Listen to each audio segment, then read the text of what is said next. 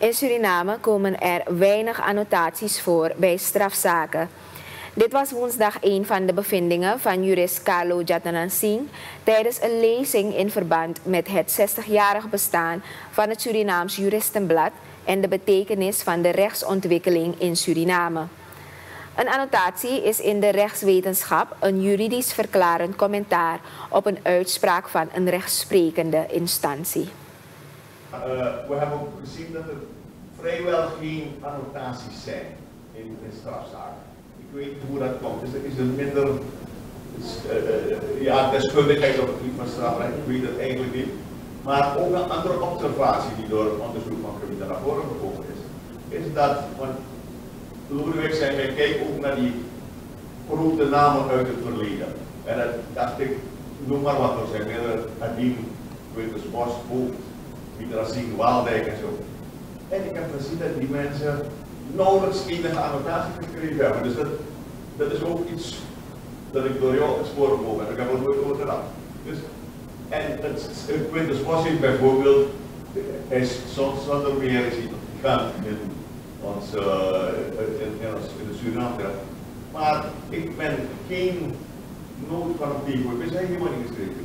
Dus ik wil ook zeggen dat niet iedereen annotaties zo belangrijk vindt als wij hier naar voren.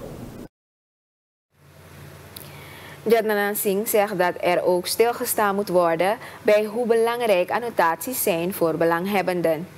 Meester Lodewijk Valk, advocaat-generaal bij de Hoge Raad der Nederlanden, geeft aan dat het belangrijk is om een annotatiecultuur te gaan ontwikkelen.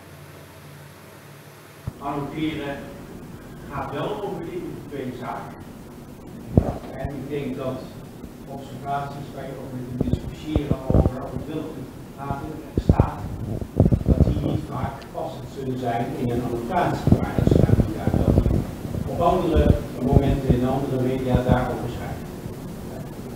Dus dat, dat zou ik als reactie geven. Dus ja, dat wordt strafrecht.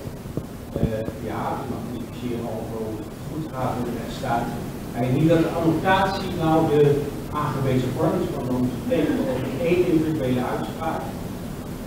Uh, ja, dan gaat het over de lijn van die u ziet en iets andere niet ziet waar je van mening van moet Dat zou ik denk dat het is. Verder zijn de rechtswetenschappers ook ingegaan op technische aspecten binnen hun vakgebied. Er zijn ook diepgaande vragen gesteld door diverse rechtsgeleerden aan Jatnanan Singh en Valk over hun observaties ten aanzien van het gebruik van annotaties.